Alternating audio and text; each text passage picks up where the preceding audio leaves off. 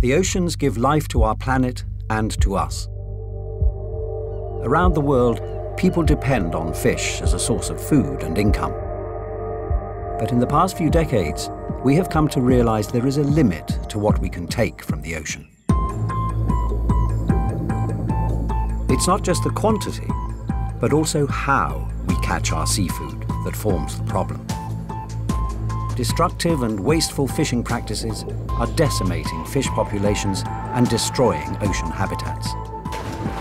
With around 80% of fish stocks in trouble, species driven to extinction, and ecosystems on the brink of collapse, it is time to rethink how we harvest our oceans.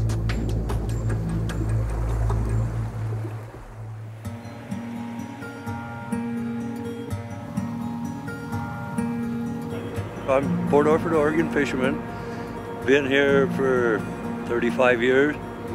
Uh, started fishing when I was 10 years old with my dad, and now I've moved up to where I've got one of the biggest boats on Port Orford dock. Among other species, Port Orford fishermen catch Dungeness crabs, but they are quite selective about the ones they keep. When we go fishing, we pull our crab pots. And then the crew goes back behind that and takes the females out. They go back over the rail, and anything that's not six and a quarter inches long or wide goes back over the rail. All we harvest is a six and a quarter inch crab that goes into the life tank. So we've always got a return of eggs are hatched every year and everything's hunky-dory, I guess. Thanks to their fishing method, the fishermen are protecting the crab stocks as well as their own future. I believe the fishermen themselves have to put their effort into sustaining this fishery. Therefore, we can have a fishery on down the road and keep this livelihood going like we got going. The Dungeness crab fishery along the west coast of the US forms a stark contrast to how most of the world is catching its seafood. In the North Sea, cod stocks have been depleted due to relentless overfishing.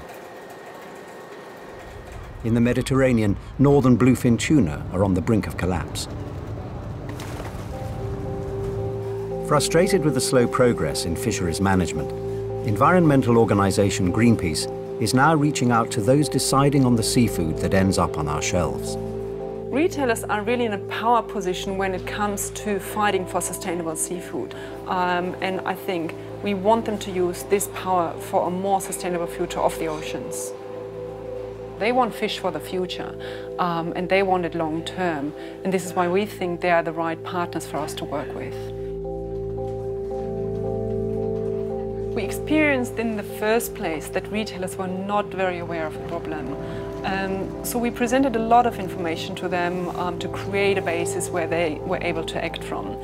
Um, from on that point, we saw a lot of rapid movement. We, we saw a lot of concern also. We, you know, people were shocked. They, they had not heard about this before. One retailer who needed little encouragement is Marks and Spencer in the United Kingdom. It has developed its seafood policy over many years. We had uh, an approach to seafood sourcing where we would check all of the sources of fish that we would buy. It became a little bit more formal when we started having a banned list in our first seafood sourcing policy. We then progressed to starting to engage with industry and our suppliers, talking to fishermen, bringing them into our stores, talking to government, and trying to do a little bit more to influence change for the future because we were concerned about the long-term future of wild fishing. As part of its campaign, Greenpeace has drawn up red lists of seafood species which should be avoided by both consumers and retailers. It has also created ranking guides judging supermarkets by their seafood sourcing policies. So what is happening, in fact, is that the ones at the bottom of these ranking lists, you know, they want to find out from us, okay, so what can I actually do to get away from the bottom? And at the same time, we've had retailers calling us up and to say, okay, what other little kind of change can I make to, to get to the first place? And I think that's, that's really, you know, a, a very nice movement that we have seen over the last years.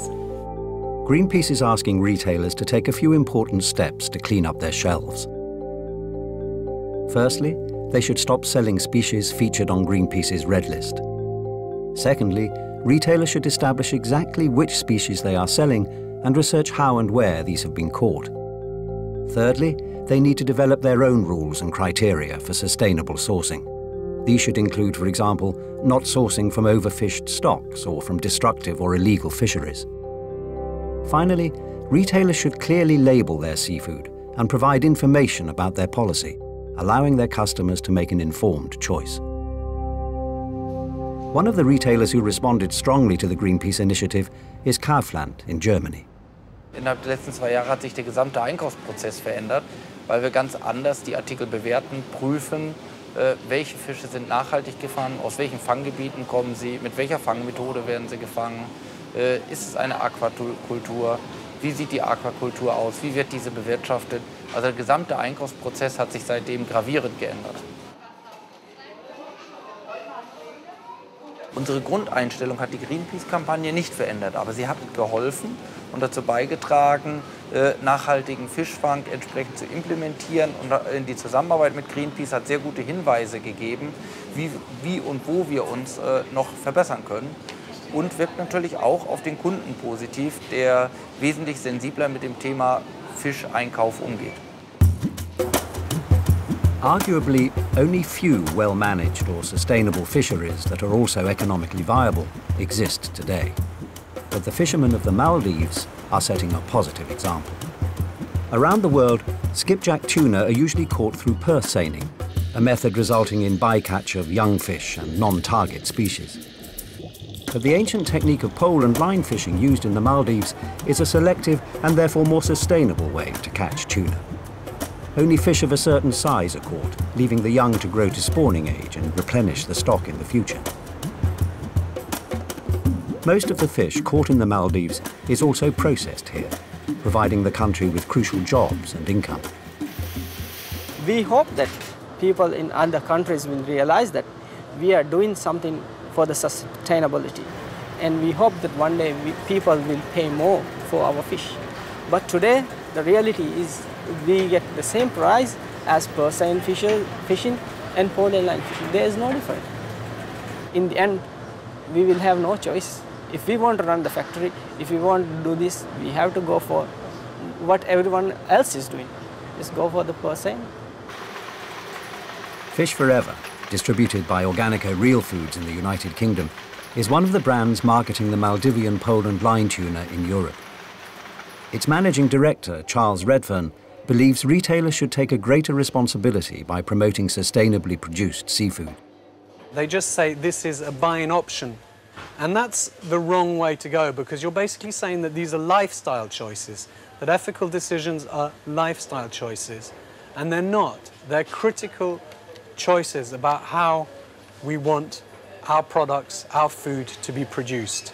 So I would like to see the retailers um, maybe being less neutral about this and actually working very hard to push it and not just say, look, we've got it well right, but nobody's buying it. Marks and Spencer now uses pole and line caught fish in all its tuna products, including salads, sandwiches and cans. I think our business has got a great deal of benefit from committing to sustainable sourcing. We know customers are coming to us, to Marks Spencer, to buy fish because they trust what they're seeing on our shelves. They don't have to carry guides, they don't have to be experts in fishery science. They can come through our doors and buy a sandwich or a fish pie or, or a fillet of fish. Any seafood at Marks & Spencer can be bought with a clear conscience. Die Kunden würdigen unser Engagement im Fischeeinkauf äh, und in der Nachhaltigkeit und äh, das Feedback der Kunden ist extrem positiv. Also Es hat uns sehr angenehm überrascht, wie, wir, wie selbst auf Auslistungen von Artikeln seitens der Kundschaft reagiert worden ist. Und Umsätze deswegen haben wir nicht verloren, sondern eher gewonnen. We have seen um, developments of seafood sourcing policies all over the place. We have seen a lot of delisting of threatened species. But um, I think what is perhaps the even more important um, factor is how the results are now um, spreading um, in the whole market and to policy. So fisheries are experiencing that they just can't sell their products anymore if they're not being caught in a sustainable manner. By removing the worst, supporting the best, and improving the rest of the fisheries, retailers can truly change the fishing industry. Their choices, along with those of politicians and consumers, will determine the fate of the world's fisheries, as well as that of our oceans.